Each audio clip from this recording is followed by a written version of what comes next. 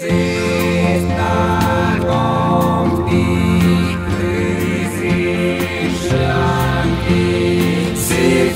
kommt die Riesenschlange, sie geht aus zu ihrem Fange, vorn der Kopf und hinter Schwanz, jetzt beginnt der Schlangentanz.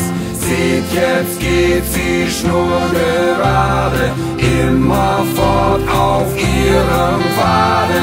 Ganz gerade, gebt nur Acht, dass ihr's wie die Schlange macht.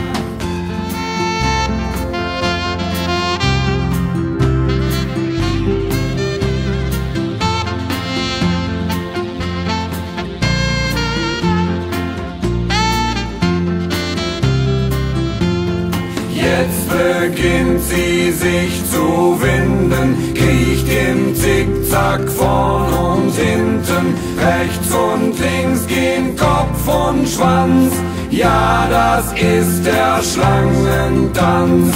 Wieder geht sie auf die Reise, lasst den Kopf nun aus dem Kreise, folget alle nach der Reihe.